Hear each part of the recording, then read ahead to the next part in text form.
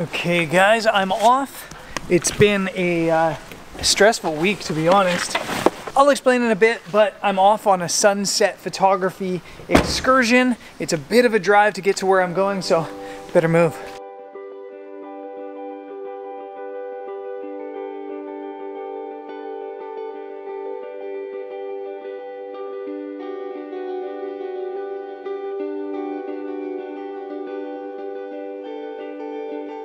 Okay, so I ended up driving way farther than I was planning on because I, had time. I'm really early for sunset actually. So I drove almost to Sines. I don't know how you pronounce it actually. I'm at Cabo Porto or just past Cabo Porto. I wanted to do some location scouting because on the map it looked cool and it is cool. It, it almost kind of reminds me of the coast of Oregon minus the really nice weather. There's some sand dunes, there's lots of little beaches, and there's tons of these rocks. So I'm in a location scout, show you around a little bit, and then we'll head to our eventual sunset location, which is farther south.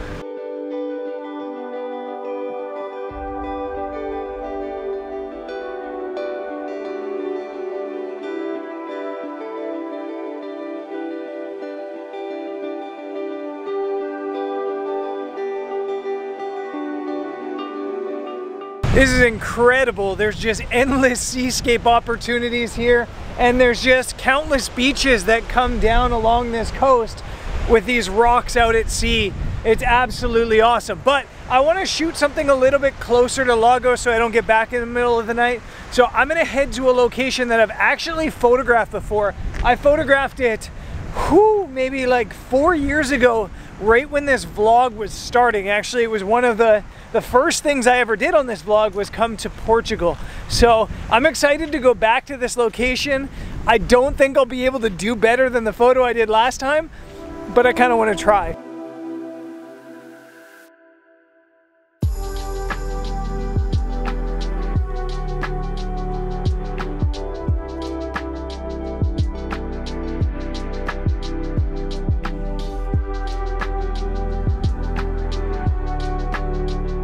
Okay, I made it to my spot.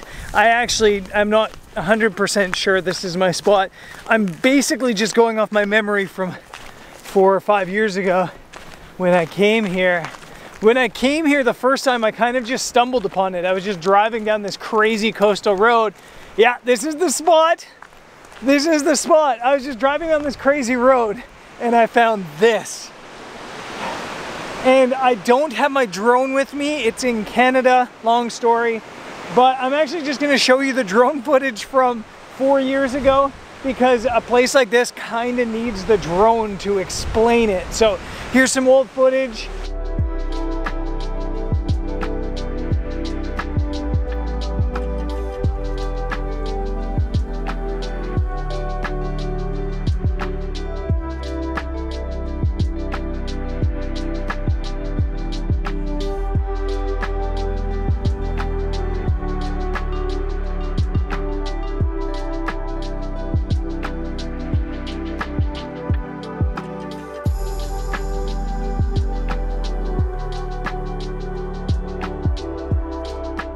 Man, how good is this? I still have like an hour until sunset, so got some grocery store sushi and this view and nobody around. Fun fact about Portugal, there's so many locations for photos that I don't think I've ever seen another tripod at a location. I don't think I've ever seen somebody else taking photos in a place I was taking pictures.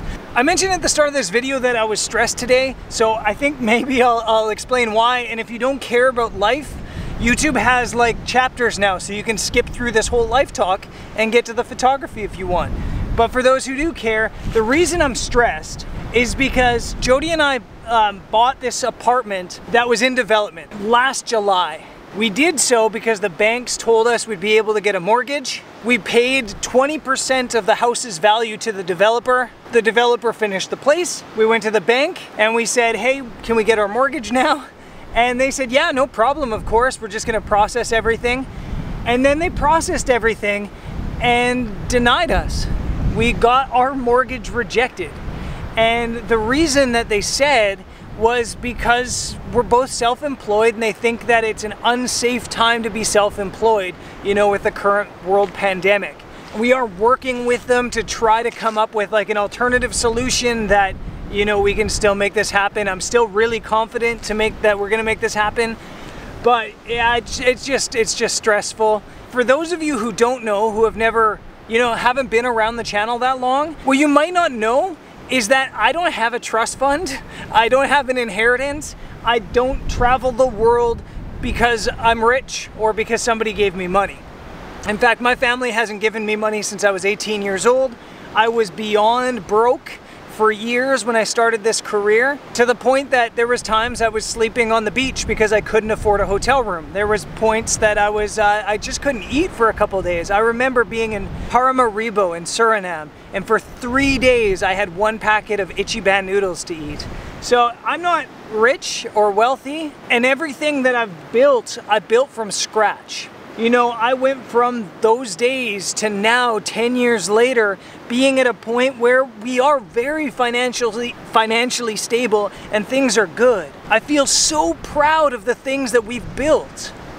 And so to have somebody tell you that it's not good enough, it's just a little bit hard. But I'm still confident that we're gonna be able to work something out. And if not, I guess maybe one of you guys will lend us 150,000 euros. Anyways, I'm gonna eat the sushi and then uh, we'll make a photo.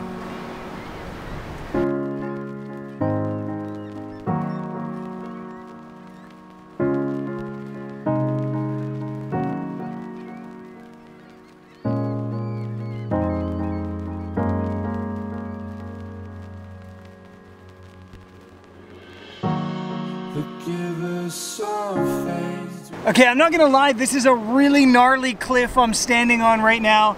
Right off the edge, it's, I don't know, a couple hundred meters straight down to my death.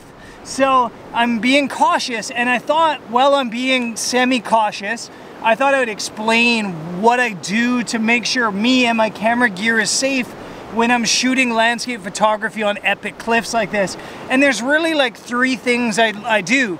The first thing I do is that I do a location scout. I worked in pipeline construction when I left high school, if you can believe it or not. And you used to have a safety meeting every day. And part of that was like walking around the site and looking for potential risks. I've done that. So I walked around the edge, checked for overhangs to see parts that weren't stable, and I've made sure that the area I'm standing is relatively safe or as safe as humanly possible.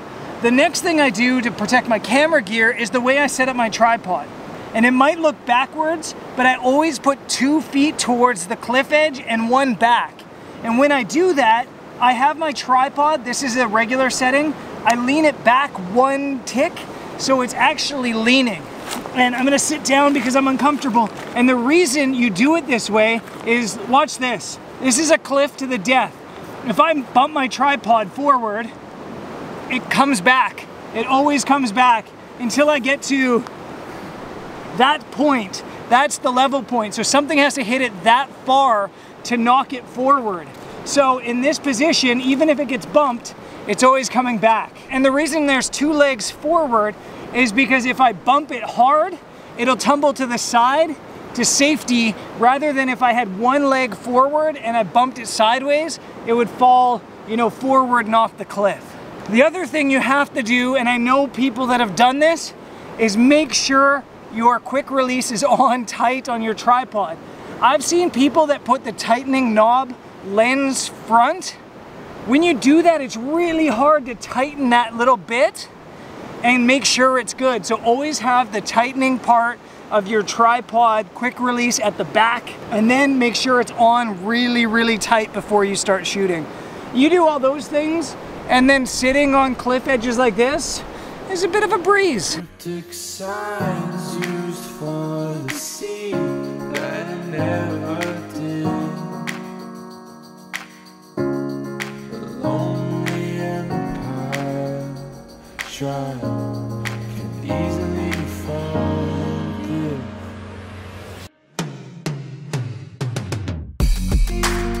Okay, so I've moved to probably actually a gnarlier spot to set up my tripod. It is on some like overhanging rock, but the cliff where I'm standing isn't overhanging, so I think it's safe. The photo composition just doesn't feel right and I can't put my fingers on why.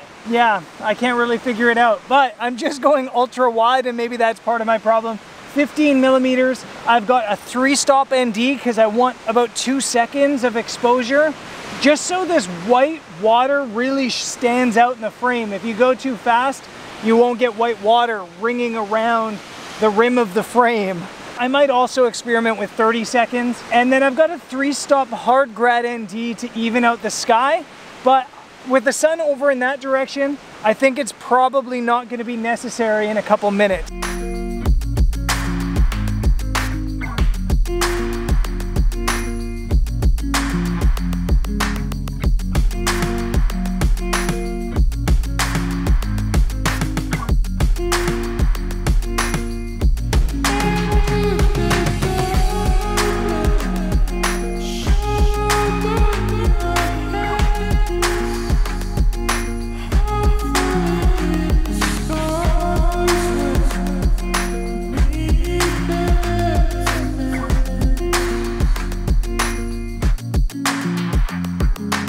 So I think I kind of solved the puzzle of this photo.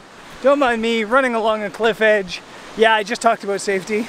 I do like the photo with the sky in it, add some color, but it's a much more powerful photo, I think, if I create almost a pano, like a YouTube crop 16 by 9, without any sky. Just the water and the light that's hitting the rocks from the side. I'm at f16, 13 seconds, ISO 100, and yeah, just shooting straight down, no sky.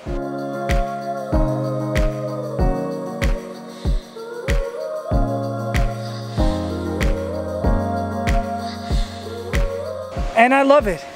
Sometimes if uh, a composition isn't working, just try to figure out how you can be more simple.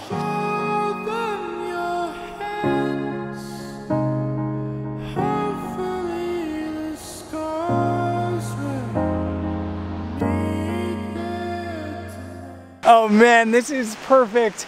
I don't know if the photos are that great, but this moment with the last bit of sun kissing the rocks and just having this all to myself is just absolutely perfect.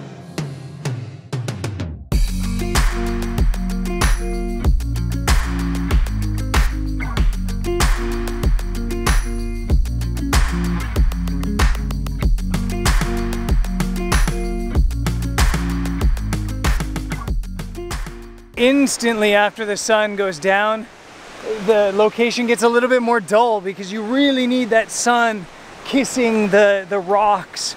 This has been so much fun and it's been so good to get my mind off of the adulting of adult life and uh, just be out at a location like this with you guys. Yeah, I'll be back on Sunday with another episode.